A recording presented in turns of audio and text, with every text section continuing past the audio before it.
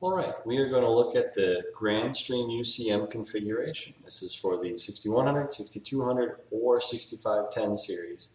Um, doesn't matter which one you're trying to make, the software is the same. So we start by logging in. Right now everything's default, so admin admin. Um, if it's not admin admin, look at the bottom of your device and the uh, there could be a password um, sticker to the bottom. Uh, that is for extra security so that people can leave it default.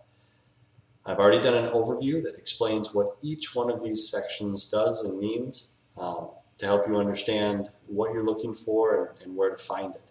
If you need that overview, go ahead and click on the link provided and you can go through that um, when you have time or, or you can pause this video and go do it now. To get started, we're going to look at our diagram. The diagram shows all of the phone numbers we want to set up, what we want them to point to, and how each of those settings creates more options and more options all the way to the end of ending at an extension or a voicemail or an outside phone number. We don't start by creating the inbound routes for these. We start by creating all of the things that the routes can point to. So in this process, we're going to go through and starting here, we're going to start with our route diagram first, which, which you can see behind me here. And then we're going to start setting up extensions and voicemails and follow me settings, and then ring groups and IVRs, and then the trunks and the routes. So we kind of work backwards from the end back to the beginning so we can make our inbound routes. So the first thing we're going to do is create extensions.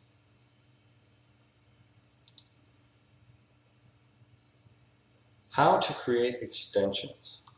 You click on extensions and trunk and then you go to the subcategory extensions. From here you can click, click the plus sign and add a either a bulk extensions or a single extensions. We're going to do bulk so we're going to click on batch here which is the method, and what kind of extension we're using SIP. So for the most part, you'll always make a SIP extension. If you need to connect like a fax machine or an analog device, you would make an FXS extension. IAX is another type of extension that we don't use here very often, so I'm not going to go through that. How many extensions do we want to create? In this case, I am going to make 101. Oh, I can only make 100. And based on our diagram, we're going to go 1200 to 1300 for our extension numbers. We'll start at 1201 and I'm going to go 100 extensions. That'll get me to 1300. Extension incrementation is 1, which means you get 1201, 1202. You can jump by 2s or 3s or 4s or even 5s if you want to leave gaps between. Um, or you can make them one at a time. Permission level, everybody's going to have permission to call out 10 digit numbers or 11 digit numbers, but not internationally. So we're going to give everybody national rights. All of these extensions are not going to have voicemail, so I'm going to disable voicemail. But I want Keep Alives turned on, so I'm going to check that box. Keep Alives make sure the extension and the phone are talking to each other regularly. If you were making a lot of virtual extensions, you wouldn't turn that on. But I find it's, this helps keep, keep BLF lights active and keep registration constant. Um, prevents drops, things like that. You can change caller ID number, you can set a SIP password. Um, if you hover over though, you'll see that R means random. So it's going to create a random password for everybody, and that's what we want. Then E here means use the extension as the caller ID number. Now there will be another place we'll do caller ID, so leave that alone. So this is this is it. That's all you really need to set, and you can just hit save, and it will create all 100 extensions. You can go through and modify, you know, codecs and faxing stuff and other other settings that we're not going to mess with. Unconditional call forwards, you can do all that right from the get-go here in the batch creation, but you don't need to. You can, you can customize that individually as you need to. So I'm going to hit save here. It tells me what it's going to create. And we're going to let it create it. Now 100 extensions is quite a bit, so it takes a moment to create them all. And voila. Now I said 1200, so we're going to create one more. And it's going to be a single extension, and it's going to be 1200. It's going to have national rights. Only this one's going to have voicemail. And you can see here it even shows you the SIP password when you're only making one. And it shows you the voicemail password because you're only making one. We'll set this to 2018, today, this the current year. We're going to skip voicemail password verification because whenever this phone checks its own voicemail, I don't want it to have to punch in its password. We trust everybody on the site, so we're going to do that. If you don't, don't check this box because then they have to type in the password every time. I still want my keep alive turned on. And you can tell here we have a few more options of settings available to us when we're making just one extension at a time. The auth ID is um, often identical to the extension number. Uh, that's the SIP user ID. If you want a different auth ID than SIP user ID, you can type that in here.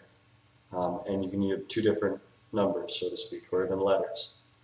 Um, but if you leave it blank, the auth ID is the same as the extension number. Um, that's new. We'll look at that right now. All right, emergency calls caller ID. So when you call out, if you want to change the number that it uses as caller ID for emergency calls, you can put that in here. You don't want the extension active, you can disable it here. We can punch in names. We'll start with mine. And my email address. Oh, I want to do the autofill.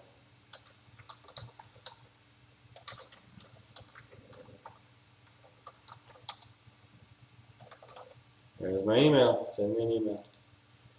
The user password is for logging in as yourself. Um, right now we're logged into the admin portal or to the UCM's portal using the admin login.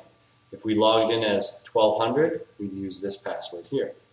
After you click save here, this password disappears and the only way to change it is to completely replace it. You can never actually find out what that password is. If you have more than one extension that you want to, more than one physical phone or soft phone that you want to connect to this extension, you'll want to change the concurrent registrations to be a higher number than one. Right now, only one device can register as, as this extension. So we'll go ahead and save that one. And boom, we have 1200 and then 1201 all the way through four whole pages of all of the numbers. The greatest per page you can get to is 40. And you can flip through page 2 and page 3 all the way up to our 1300 mark. 101 extensions. If you register them, they will show up here as, as registered rather than unavailable, but we won't uh, mess with that right now. Now, these extensions are in here, but I can't use them until I start to hit, until I hit apply changes. So we're going to apply those changes and make all of those available. Now what about follow me settings? what does that mean? Uh, we looked at all the, uh, on, our, on our diagram here, um, different extensions use different things and sometimes we can have an extension ring and then follow me to a cell phone. So it rings the extension, it rings the cell phone, and I thought I had written one in here. I didn't. I didn't write one in here, but I did put it on this diagram. Extensions, voicemails, and follow me settings. So if we were sending a call directly to an extension, then the follow me setting would follow that phone if it didn't ring to its cell phone destination, and then if you didn't answer on the cell phone, it would come back and leave a voicemail on the system. So we're going to start by looking at extension 1200 and we're going to edit it. And at the top here you see we have more tabs now. And you can see the, all of the passwords are grayed out so you can't just see them. But the voicemail and the SIP password you can see if you need to. But this one down here, there's no seeing it. You'll never get to know what that is again unless you just reset it. Now, if you have this extension, it's active and it's got voicemail enabled, you can go all the way to the last tab to follow me settings. And you can turn that on. So that means that this phone extension will now ring the regular extension at the phone for the allotted amount of time. If there is no answer on that phone, it will jump to the following numbers that we list down here. And it will ring that extension, that, that cell phone or landline, whatever you want to forward it to, another, another desk phone. Upon ringing, if you have this box checked here, confirm when answering, the person that picks up the call will, will hear you have a call being forwarded from your extension from whatever number. And it will ask you to accept this call, press 1. Deny this call, press 2. I'm not sure if 1 and 2 are the right options, but it asks you to confirm it. And as long as you have that confirm when answering on, the system will send it back to its, um, um, its voicemail or to this default destination if nobody picks up and confirms the call. If you uncheck this and you're sending it to a cell phone and the cell phone doesn't pick up an answer, it'll go to the voicemail and they will get the voicemail of the cell phone. If you check this, it doesn't go to the voicemail of the cell phone, it comes back to this default destination. All right, what do you want them to hear when they're waiting for the call? You can create a custom music on hold, like your call is being forwarded and we're looking for the person and, and that's all fine. Or you can just give them a ring. And that's what that does. Skip trunk authorization. If you have a trunk that requires authorization to use, like a password, you can tell it to skip that by checking this box. Otherwise, uh, you'll need to get that password in there. Uh, for what we're doing, we're not using passwords, so we'll ignore that. Use the callee's DOD for following. DOD is direct outward dialing. This is the caller ID that the extension gets. So if I assign an extension to 1200 and check this box, it's going to use the caller ID I've assigned to 1200 when it forwards that call on. If I don't, it'll pass the caller ID of the original caller through to the cell phone. Enable destination, we're going to go to the voicemail of 1200. So it's going to try to ring through. It's going to demand the confirmation when answering. And if it doesn't get it, it's going to end at the voicemail of this. So the first following number will be an external number. We'll do 4321. That's my external number. It's going to ring it for 30 seconds and then end at the default destination. If I want, I have to add that. If I want, I can add another one.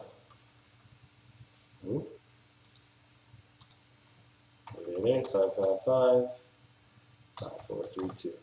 It's going to ring that one for 30 seconds. And it'll go as long as you want it to go and then dump back to the voicemail. We'll just do the one. And that's how a follow me works. Once that is in place, anytime extension 1200 is called directly, it will obey that rule. And if it's in a ring group, it'll ignore it. It's only directly dialed calls that, that honor the follow me setting. So that's how you set up extensions and set up voicemail and set up follow me. Again, voicemail is just this button right here. Um, remote voicemail is another option. That's if you want another system to handle voicemail settings, which we're not going to mess with today. Once you have extensions and voicemails and your follow me settings set up, we move on to the next section of ring groups. How to set up a ring group. All right, ring groups, you go into call features and ring groups. A ring group allows a set of phones to ring, either simultaneously or in order, have music on hold or ringing in the background, um, and then dumps to a, a destination of your choosing. We're going to call this in group 1. By default, it picks in the extension range of 6400s, so we're going to leave that. We're going to tell it that, well, let's look at our diagram here. Ring group 1 is going to ring 1200 to 1210 and then go to voicemail. So 1200. Hold down shift. Oh, it didn't work. I gotta check them individually.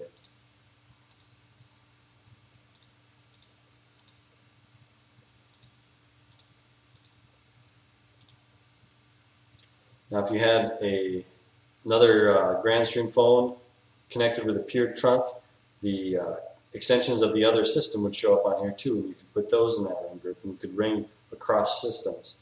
That's all possible. The ring strategy, you can ring in order. Most commonly, I ring simultaneously. Everything rings together. Music on hold. This is what the person calling in will hear while the phones are ringing. Now, the, the thing to make note here is that the phone system answers the call the moment it starts playing this. So if you have something that requires um, requires you to not answer the call because you don't want to charge them a toll charge or something like that, don't set this to anything. Leave it the way it is. If uh, you're using SIP trunks and the amount of calls doesn't matter, I usually set this to default ringback tone. This lets them hear ringing back as soon as uh, the phones start ringing.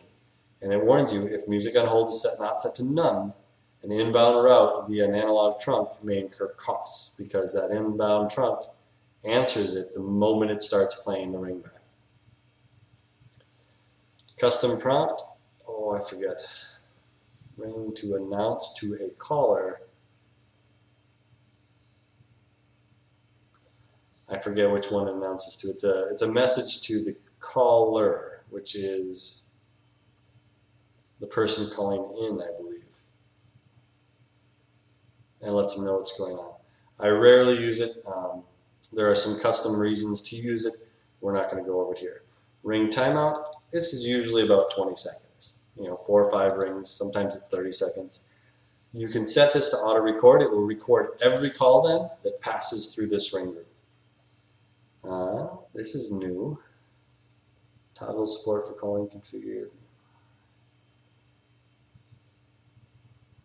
Interesting. We won't worry about that for now. Um, replace display name. If you check this box, the caller ID name that appears on your phone will be replaced with this name up here. Um, if you need that, that's helpful sometimes. And then at the end, after all is said and done, it rings all of those phones simultaneously, playing a ringback tone for 20 seconds and if nobody picks up, you go to voicemail is what we decided of 1200. And voila, we have ourselves a ring group. We're going to make a second ring group. And we'll go a little faster on this one. Ring group 2, 1250 to 1260 and ends at IVR1. But I haven't created IVRs yet. So what do I do? in group 2, 1250 to 60.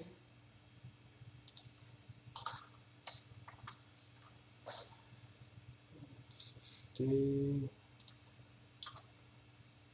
One, two, three. Nine, all those in there, and 60. We're going to ring simultaneously. Uh, we're going to do ring back. We're going to do it for 20 seconds. And we're ending at an IVR, but I don't have that IVR made yet, so I can't put that in here, which means I'm going to have to come back to this. And this is where our diagram helps us out, because it reminds us to do so much stuff.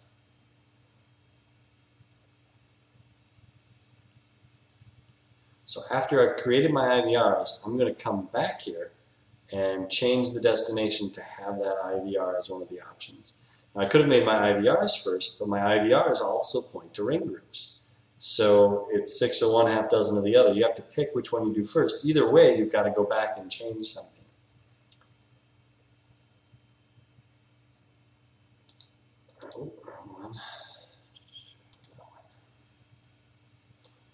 What else do we have to make? Ring groups, queues, IVRs, and then double check everything. All right, so let's go to queues next.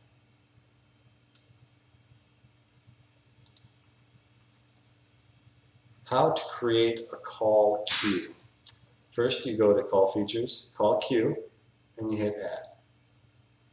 Much like the ring groups, um, they have a lot of similar settings, but the ability to leave them and, and hear the ringing in the background things like that are different. The extension numbers go to 6500. We're going to call it Q1. The strategy is ring all. We can choose linear, least recent, fewest calls, random, round robin. Lots of options for a call queue. Music on hold is going to be ring back tone. Um, if we wanted, we could put your call is important to us. Please remain on the line, and the next available operator will be with you shortly. And play music or something. We can create any kind of music on hold sequence we want. Um, just ringing is fine too max queue length. Configure the maximum number of calls to be queued at once. This number does not include calls that have been connected with agents, only calls that are still in the queue. Now it's set to zero right now, which means unlimited, and that's the default. Wrap up time. This is the amount of time that a person that has answered a call has before the phone call starts ringing again. So if you want to have no delay between when you hang up a call and when you receive your next one, you set this to zero. 10 seconds is the person hangs up the phone, they have 10 seconds to jot stuff down before their phone starts ringing again. Ring time. Um, each agent will ring this amount of time. If you have it set to like linear or any of these others, that timer is important. If you have it set to ring all, not so important. Retry time the number of seconds to wait before ringing the next agent. So there will be a gap in between when the first one stops ringing and the next one starts ringing when you have a different ring order, like linear, and that's the amount of time between. Auto record records all calls that go through this call queue. Max wait time. The time represents the absolute amount of time to allow a caller to stay in a queue before no one before no one answers the call. And so 60 seconds, it would, it would ring constantly for 60 seconds and then go to this destination. So this is where we would change where the exit is on that queue. So for Q1, we decided it's going to ring 1220 to 1230, have an option for a voicemail out, but repeat forever. Let's see if it'll let us do that. So zero typically is the wait forever option and still lets me choose an out, so we're going to set it to voicemail. Destination prompt. Configure the voice prompt cycle in this queue while playing the voice prompt. And you can be, press 1 to transfer to a failover destination. So this is your out. This is your voicemail out. Um, we set our max wait time to 0, which means this should ring endlessly, um, even though I have a an exit, exit strategy there. If I enable this, every, let's say every 20 seconds, I want you to play this special custom prompt that I create. And I would create the prompt in prompts, which is here, which we can uh, show you where that is later. And the exit is voicemail of 1200. And that's what happens when they press 1. And so if you want to get out, the, the prompt is going to say, your call is important to us, and remain on the line. So you might pair these together sometimes so that music on hold up here you might set to just music, and then every 20 seconds you pay, play the special prompt that says, your call is important to us, please stay on the line, press 1 if you want to leave a voicemail. And that's a ring group. Oh, I didn't add the agents. So the agents are in the last settings here. There's a bunch of uh, advanced settings we can mess with. I'm not going to go through those right now. But the agents are added over here. And this is 1220 to 1230.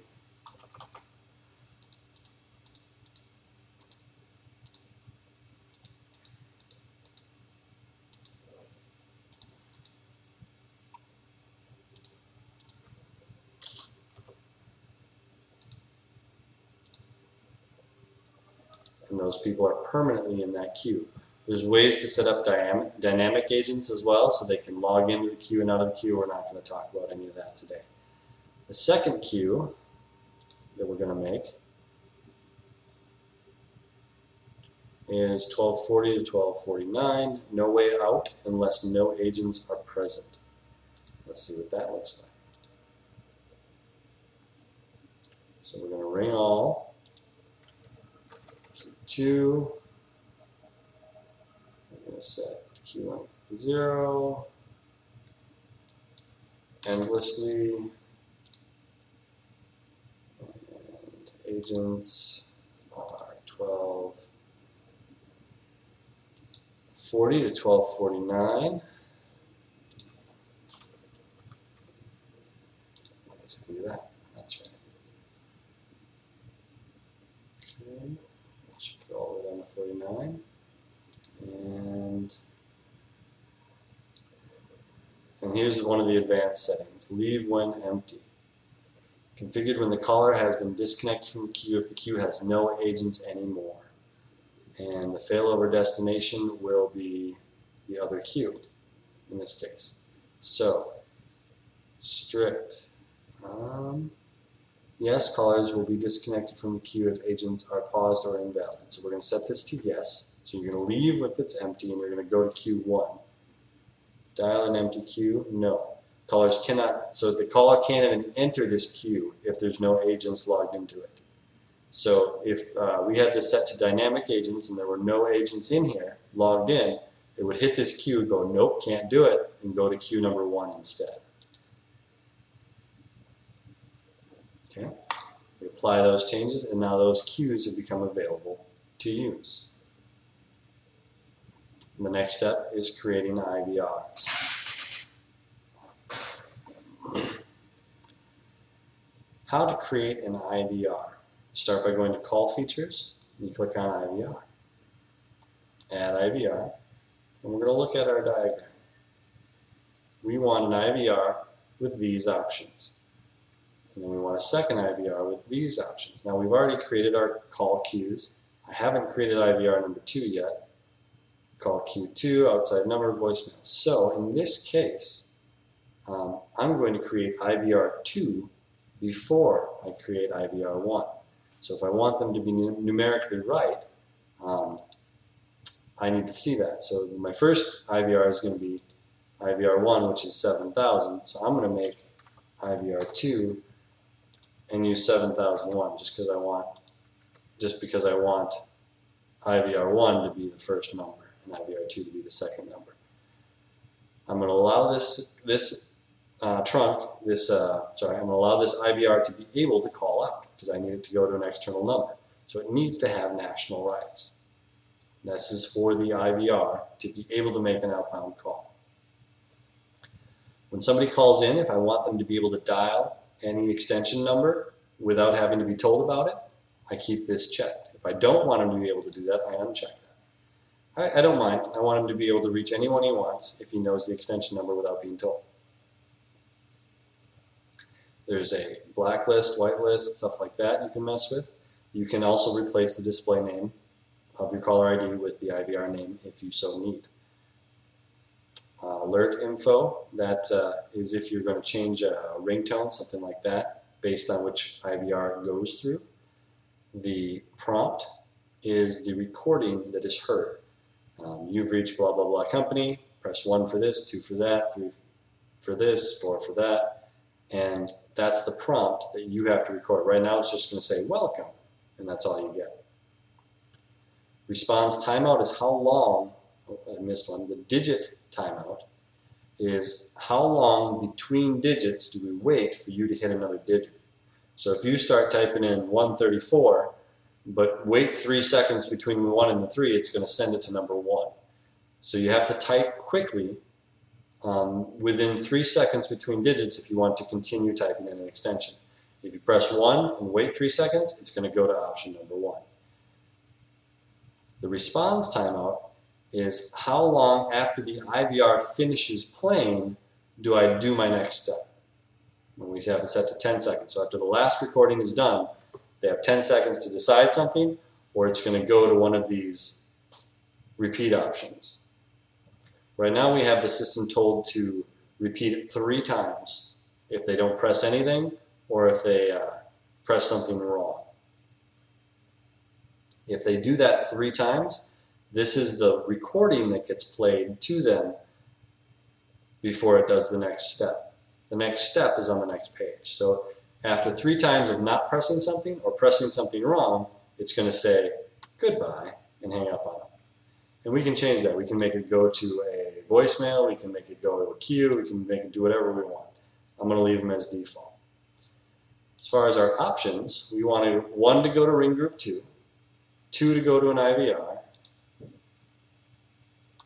ring group two, two to go to an IVR. Oh, I'm wrong. I'm sorry. This is IVR2, so we're over here.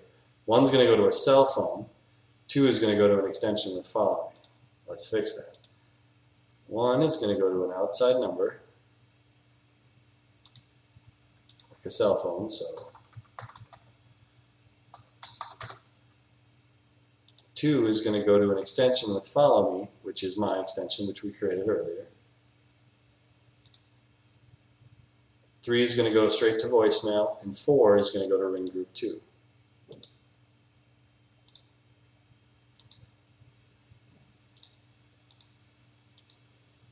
And we're going to create the recording that allows that to be said. Thank you for calling. Press 1 for Bill, 2 to find Lucas, 3 to leave a message, and 4 for sales. Something like that. Save that. Now that we have IVR2 created, we can create IVR1, which can also dial trunks, or dial the trunk, and can reach other extensions, has national rights, uh, all the same settings down here, key pressing events, ring group 2, IVR2, call Q2,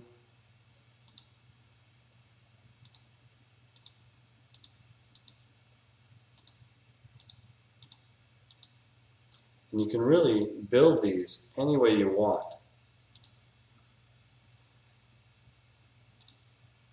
And then outside number and voicemail.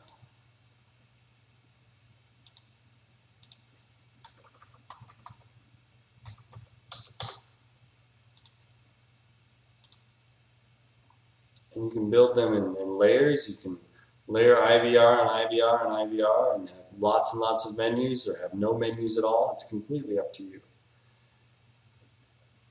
And apply those changes.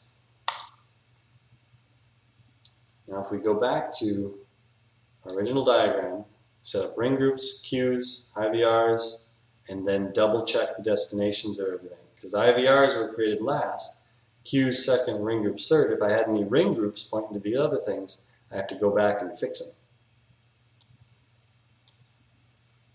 To look at that, I have ring groups that point to extensions and end at IVR number 1.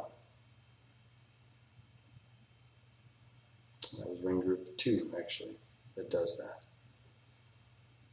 So we're going to go back and look at our ring groups and ring group 2 is supposed to end.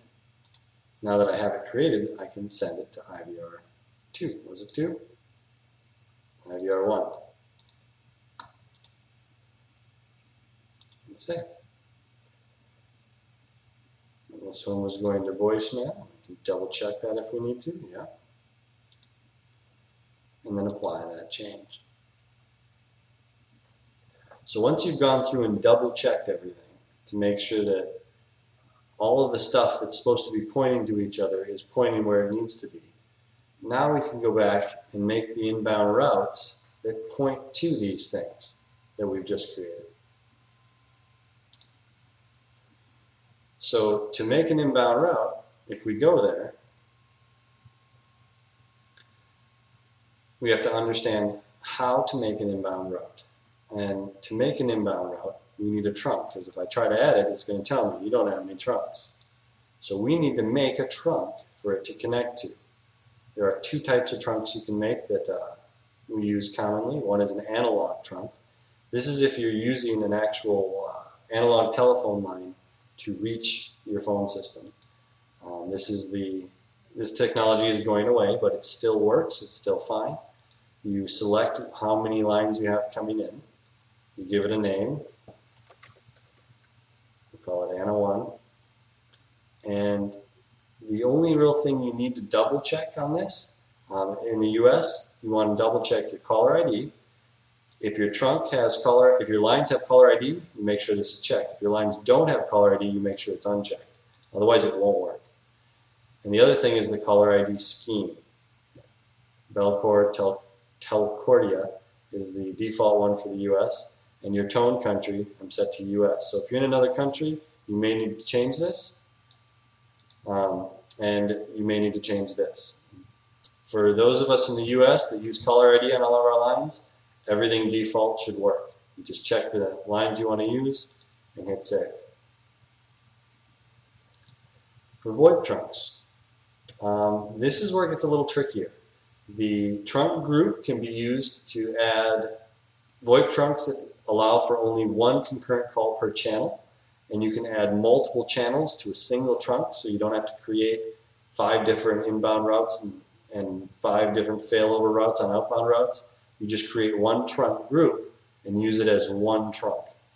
Um, I'm not going to make this today, but you can add multiple user IDs as many as you need for each trunk you want to enter for a single host.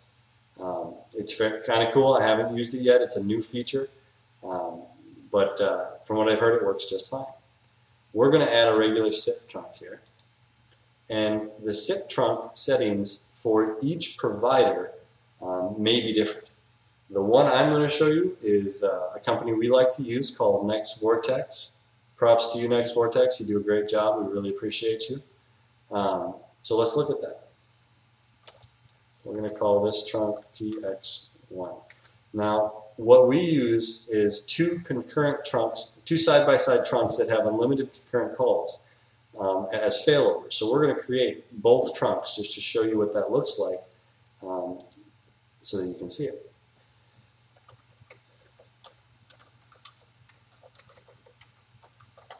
And this is information you will get from your provider.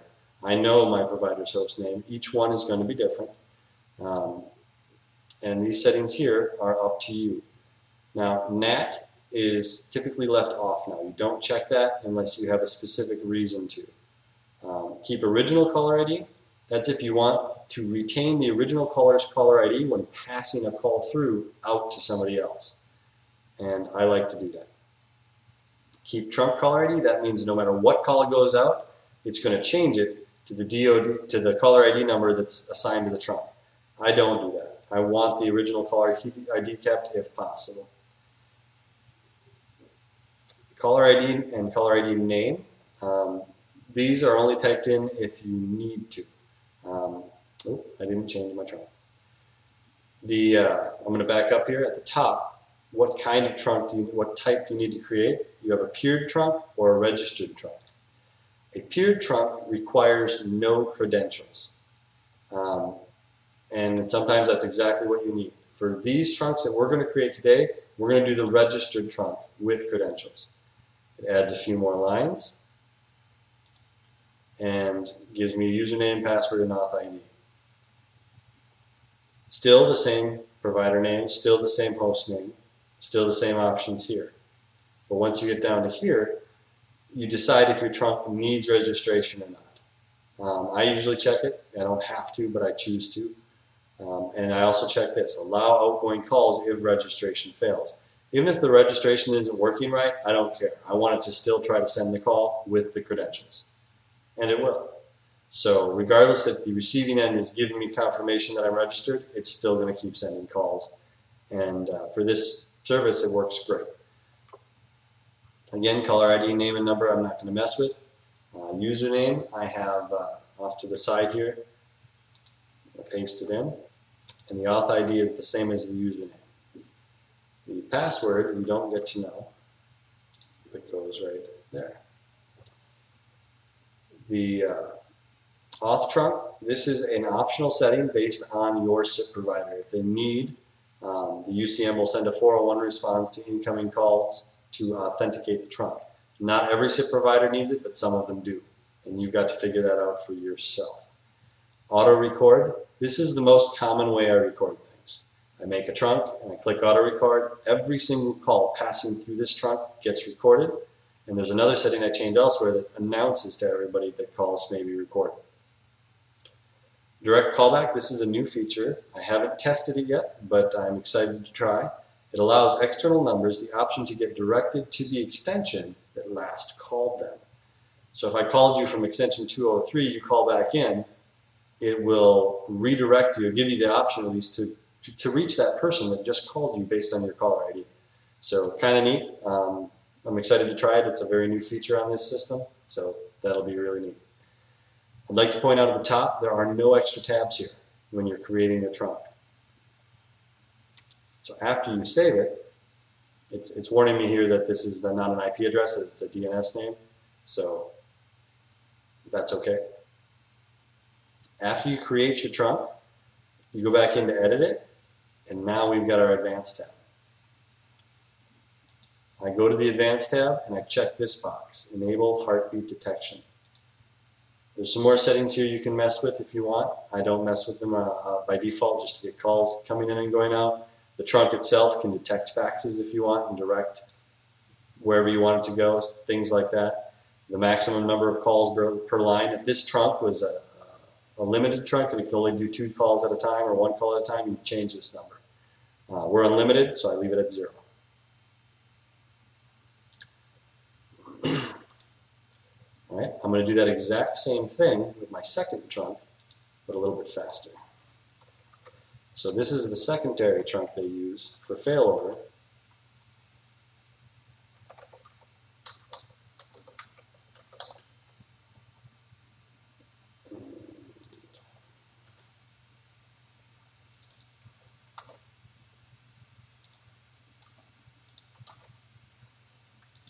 original caller ID, registration, save, go back in, advanced, enable heartbeat detection. This helps me monitor the trunk on the dashboard better. So as soon as I apply this, um, these, these settings are going to try to register to my provider. But my provider won't know how to get back to me. It needs to know who to reply. Who do I tell that, that I've got the registration? Um, the signaling that it gets will tell it my local address here. And I don't need it to know that. I need it to know my public address. So we're going to go into PBX settings, SIP settings, and the NAT tab. In, in the way in time past, we used to check that NAT setting on the trunk, and that would send help send this external host address. Now they have this special checkbox here, use IP in SDP, and you check it. And that says send whatever number I put in here, or dynamic DNS address, or whatever I put in here, I want to send with my packets to say, hey, this is where you reply to when contacting.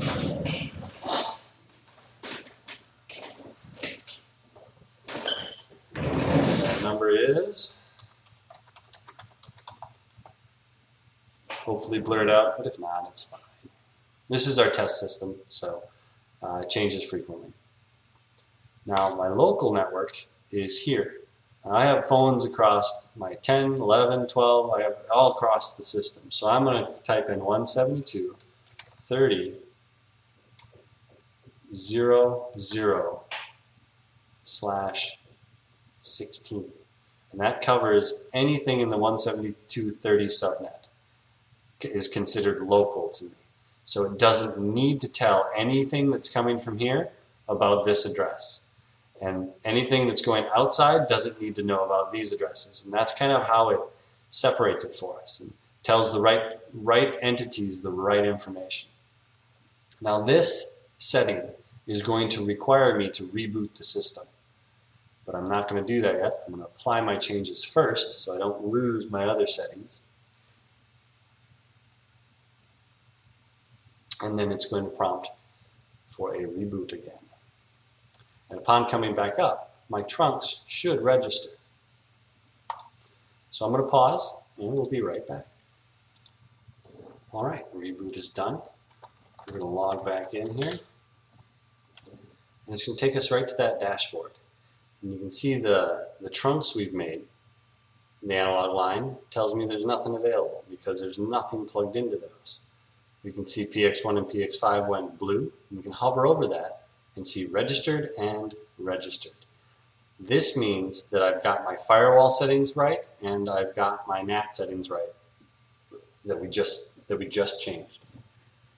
The firewall settings are something completely different.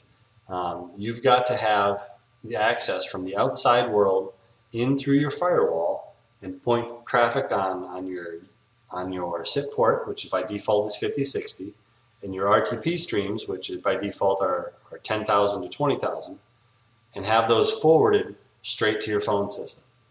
Um, and if that's not in place, your trunks will not register. Uh, that, that'll be shown in a separate video. Now, now that we've got our trunks made, we can move on to the next step. That step is inbound routes. So let's, oh, let's look at this one. So we've created our trunks. Now we can do our outbound and inbound routes. And uh, we already talked about if we're using SIP trunks, let's set up that external host. Um, again, that's in PBX SIP NAT if you didn't catch it before. All right. How to set up your inbound and outbound routes. So we're going to go to extensions and trunk. And let's do the easy one first. That's the outbound routes. So we've already got our trunks made and we add some rules. Um, it's possible to put all of these in one rule and, and send it all with the same privilege level and just do it. I don't recommend that. You need people to be able to do things differently than each other. For example, you want every person in existence to be able to call 911. So we're going to make a path for that. When 911 is called, and that's represented by the underscore 911. And if you're not sure about this terminology, hover over the word pattern here, and it'll give you a good explanation of what you can use for letters and numbers and periods and exclamations and what they mean. Once you've got your, your path here, underscore 911, you can uh, choose if it, uh, the route needs a password or a PIN or anything like that. Uh, by default, I don't mess with any of this stuff. I just give it a privilege level. And the privilege level is internal, which means anyone, anyone at all can use this, this rule. Um, you can enable source filter on caller ID, which disables the privilege level and lets you pick which extensions can use it. Um, but uh, we want everybody to use it, so we're not going to use that. We're going to leave it internal. And it warns us it's potential security risk because anybody can do it. So you wouldn't want to set your international route with an internal level. Anyway, what path is it going to take? Which trunk is it going to use? It's going to use PX1. Is it going to strip or prepend any digits? No. What about the backup trunk? We're going to add a failover trunk. If, if PX1 fails, I want it to use PX5. And then I have to save that down here, and it moves the failover into here. So any failover trunks you add have to be saved down here to be added to the order. If you don't save it down here, it's not going to save.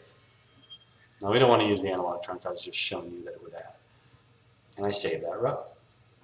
Now it's going to warn me again that internal level means anyone can use it, and that's risky. We're going to add another one. Some people have local numbers. And, and if you have a local number, it's usually seven digits long. Two, three, four, five, six, seven. And it doesn't matter if I use capital X's or lowercase x's, so if you like to see it differently, I can see three digits followed by four digits, but it's still x's, so it doesn't matter. X represents any number, any digit from 0 to 9. And I realize I could use z's and I could use n's, but I use x's for almost everything because it's simpler.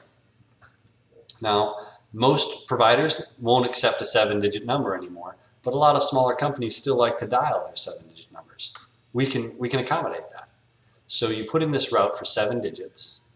This one we're going to set to local permissions. So not quite anybody, but any extension that has local rights will be able to use this route. The first place they're going to try is PX1, but our provider needs a 1 and the and the area code. So we're gonna we're gonna say the area code is 888. So we're gonna strip no digits and we're gonna prepend a 1888. That will put the 1888 onto any seven-digit number before it sends it out this trunk. So even though our provider doesn't accept seven-digit numbers, our phone system can. And then add what it needs on and send it out. We're going to do the same thing here. Now, some providers don't require the one, but we're going to pretend like ours does, just for the sake of showing you. The next route you will need is long distance. Now, if your provider accepts um, if your provider accepts both 10 and 11 digit numbers, you can go like this. You can see how I use the capital X's to show the middle three numbers so you can count easier. Now this would work. I could do this because if I had a provider that accepted both 10 and 11 digit numbers. Now in our case, we don't have that. So we're going to call this 10 digit.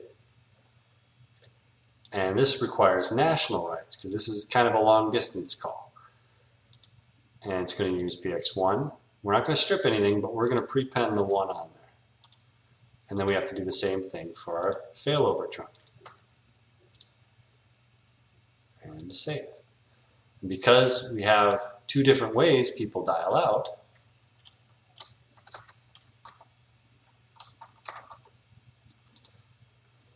underscore 1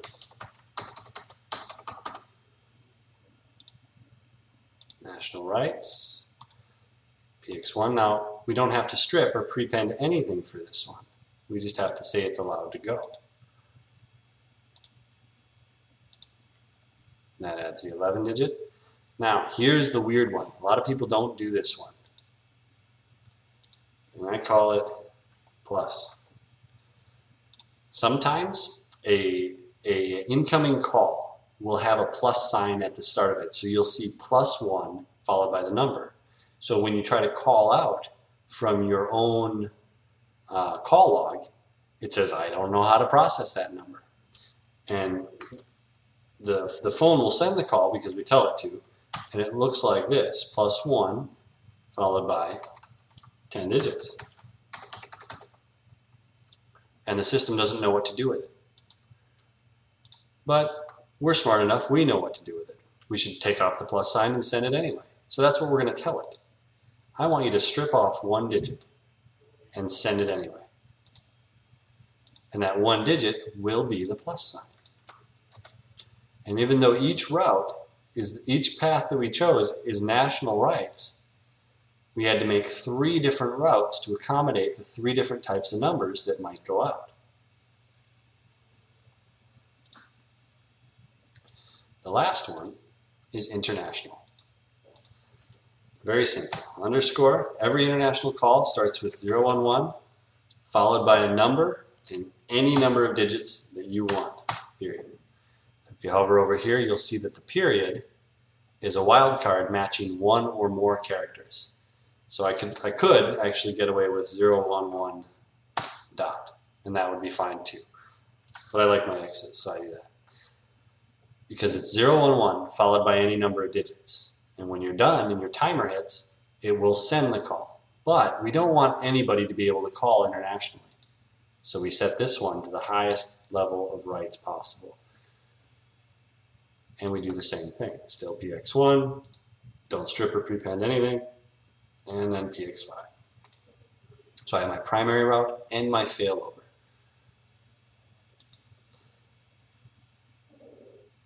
And those are my outbound routes. Now, if I wanted custom routes or things going to peered trunks and stuff like that, we can do all of that too, but for the sake of simplicity, this is a working phone system.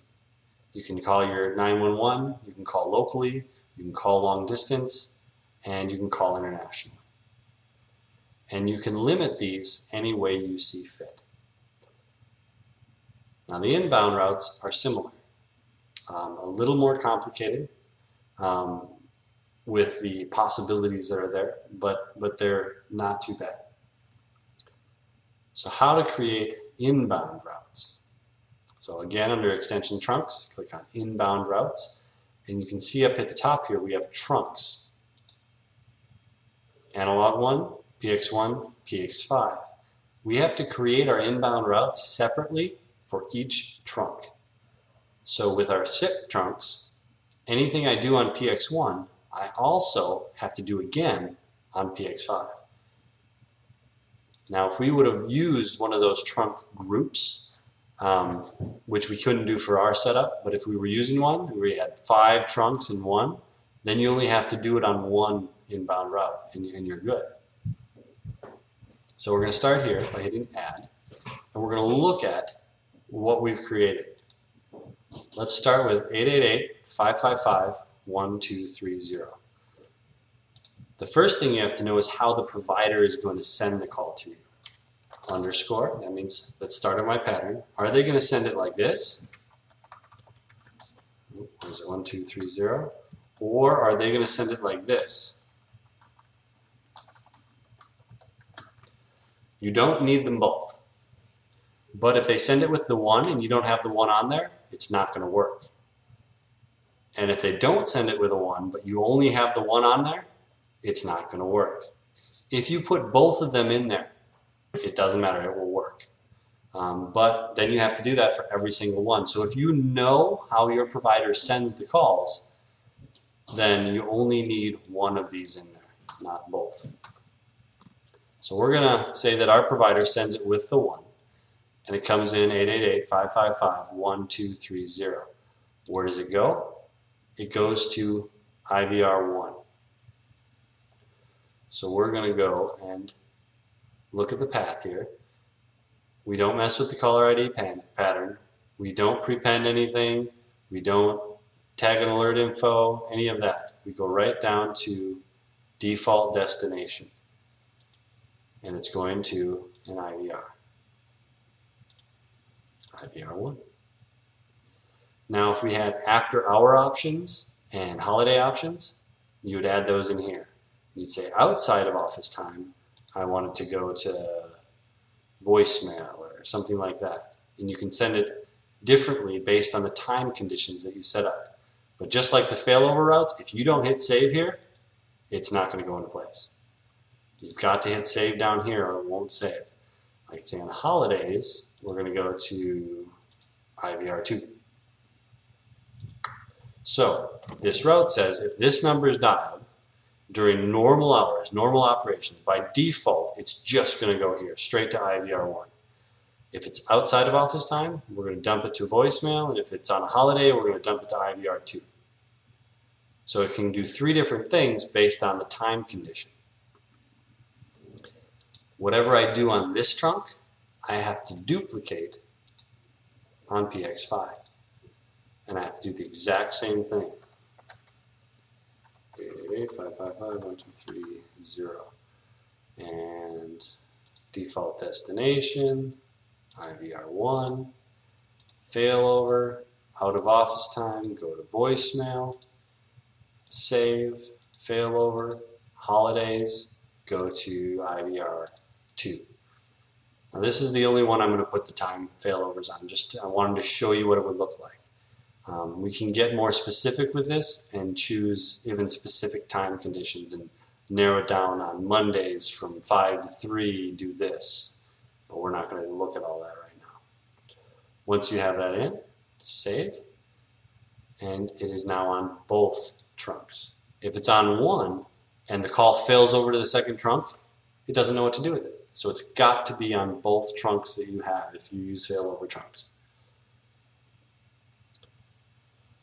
Let's look at the next one. Going to ring group 2.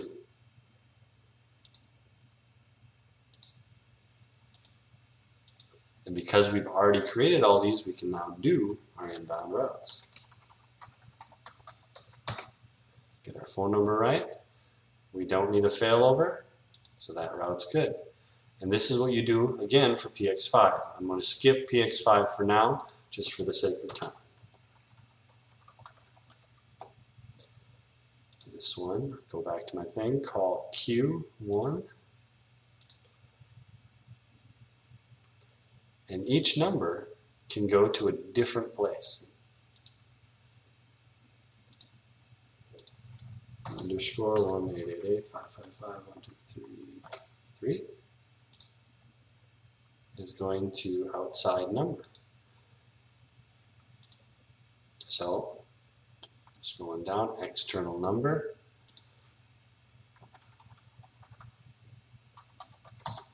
Tell it right where it's going. The call will come in, not even do anything on the system, and immediately call out and forward to that number.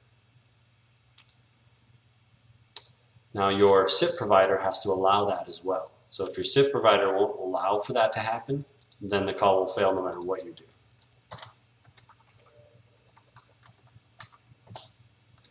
One, two, three, four.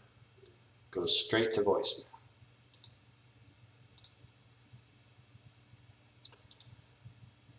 Now you can see on here how you can track all of these. The numbers go in the order that you entered them and they're not movable. So whatever way you put them in is the way you want to see them. If you want to see them numerically in order over here, enter them in numerically in order over here. Um, unfortunately, there's no way to, oh, is there? Oh, you can sort them now. Ah, nice. Cool. So looks like the first two tabs now let you sort numerically, which is actually a new feature. Good deal. All right, so the first one, you can see the default goes to IVR 1, and out of office time goes to the voicemail, and on holiday goes to IVR 2. And it breaks it all down for you right here on the one screen. And each of these just go to their respective places. And so you can quickly see where each call is going right on this screen. This is where you go, well, that seems like a lot of work. What if I have a hundred different numbers? Well, it's not so bad as long as your numbers are sequential. So this last one, 800, 555, 6200 to 6300. Each, each extension that we created is going to get its own DID, a direct inbound dial that goes straight from their number. So 6200 will go straight to 1200. 6201 will go to 1201. So on, all the way up to 6300 will go to 1300. And you can do this with as many extensions as you want. But I'm going to show you how to route it in one easy route. So we add in the numbers. Let's see if I can do this right. Um, underscore 1 888 555 6 xxx because it's the last three digits that can be anything. But all the numbers are starting with 800 or I did 800, 555, 6, 200 to 6, 300. So after the 6 is when they change. Fix that here. It should be 800. And so you put X's in for the ones that are unknown. Now here's where it gets neat. Down here under default destination, one of the options is by DID. And that allows you to bring in all of those and they allowed DID extensions right now it's just an extension. You can actually route like that to conference rooms or call queues or ring groups or anything like that if you so chose. The most common way to do it is by extension. So it's looking for extensions that match what I tell it. And the way it's going to match, we're going to strip off, starting from the left, we're going to strip off one, two, three, four, five, six, seven digits. Nope. Let's look at it again. Eight digits? Yeah, eight digits. Four and four. So we're going to strip off the first eight digits, replace it with a one, and keep what's left. So I'm going to strip off eight digits, prepend a 1. So if the number 6200 came in, it would strip off everything except for the 200, and then it'd put a 1 on the front of it, which would be 1200. So the first number would route to 1200. And we save it. And so it's by DID, strip off all eight digits that's come in at the start, and this is where it's important that you know whether they send the one or not. So this one matters. You have to know how they send it. And you strip off all the first digits, prepend the number. So this only works if the extensions are sequential. You can even do this if you don't own a few numbers in the middle because you just won't receive them and that's fine. But you can do the whole stretch of an entire sequence of numbers very, very quickly doing it this way. So you have to do this, like I said again, on PX5. PX5 here, the second trunk has to look exactly like the first one. Otherwise, when the calls fail over, they simply won't work. And that's it. That's how you set up your inbound routes. Once you have your inbound routes and your outbound routes and your trunks are going, you should be ready to go. You should be able to make calls. So we're going to apply these changes and see what we look like.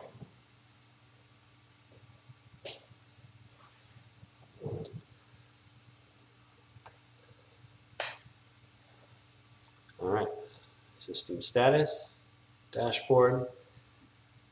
We have working trunks. We have extensions that currently aren't connected to any phones yet. And we have outbound routes and inbound routes. So calls can come in, calls can go out. We have voicemail set up. That's the basics of our system. At this point, your system is set up. It, it can function as of right now. Um, but there are some fine tuning items to look at. And right now, I'm not going to teach you how to connect your phones to your extensions and go through all of those settings. But uh, that video will come in the future. For now, we just wanted to get you a working Grandstream system. But I am going to quickly go over the other miscellaneous settings that you will need to mess with. So we have opened our system up to the rest of the world. And that means that people can attack us if they want. Um, so we need to go to security settings, which is under system settings and security. And we need to turn on the ability to, to block people when they start to come in. So that's in security settings. It's called Fail2ban, and you just have to turn it on. Um, I also turn on the Asterisk service and the login attack defense. So people are trying to log in on port 8089 or 5060, if you enable other ports, it'll activate those checkboxes as well. Um, if you know your SIP provider's IP address, um, you can enter the, in the whitelist. If you use the, uh, what is it? Service check. If you use the service check, you need to come into here and whitelist yourself. Um, I usually whitelist a lot of things. Uh, for example, my local networks, I whitelist, that's my SIP provider. That's the other SIP trunk. So this is PX1, this one's PX5. That's myself. In case I accidentally do that. But there's lots of, of things you can whitelist to protect yourself. If you have somebody out in the world that uh, is remotely connecting their phone in, you'll want to whitelist them so they can't accidentally get banned. But once you turn this on, anybody that attempts to, to, to log in and fails five times within 600 seconds, which is 10 minutes, then they're banned for 10 minutes. I usually change this one to 86400 because there's 86400 seconds in a day. And so it'll ban them for the whole day. Anybody that gets banned shows up down here. So that's how you block that particular side of things. Um, parking slots. Uh, a lot of people like to use parking slots and they like to uh, have speed dial buttons for them. If you do that, you need to come into parking lot under uh, call features and say treat parking lots as extensions. One little setting change. Help, super duper helpful. Uh, what other miscellaneous settings we got? We talked about PBX at NAT. Um, talked about security um, time. You need to make sure your time zone's right. Set your office time and set up your holidays. It's important. Email settings. Configure your email settings. It's important. Users. Have backup users. Do not give everybody your admin password. We talked about the operation log at one point. Everything gets logged here, but not everything gets logged in system events. So come in here and turn off all, turn on all of your alerts. You can get email notifications if you want, but that gets kind of excessive. Upgrade regularly. If you're going to upgrade, back up always. System cleanups helps you keep the system clean. And at the very bottom here, zero config. This is a quick, easy way to assign extensions to your phones. And I'm not going to go through it now. We don't have phones set up for this. But you can quickly assign 50 extensions to 50 phones with basic settings. You can really customize things with the templates. Um, finally, when all is said and done, and, and this is important, please don't forget this because you will regret it um, when you have an issue. Because just like any computer, a phone system is a computer and it will have issues at some point. You need to maintain it. You need to give it upkeep, keep it clean, make sure it's cool, um, make sure it gets its updates. And as you're doing all that, make sure you back up. You can do a scheduled backup so it backs up for you, um, or you can simply come in and add a backup. I want just my config file or I want everything. If you do just the config file, you can save it locally. It tells the backup file, puts today's date in there, 2018, 8, 14. So today is August 14th of 2018. I don't know what this number means. I will often change it to be the version of firmware that I'm working on. 18.9, I think it was, something like that. So I know what firmware I took that backup from, on what date, and that helps me out sometimes.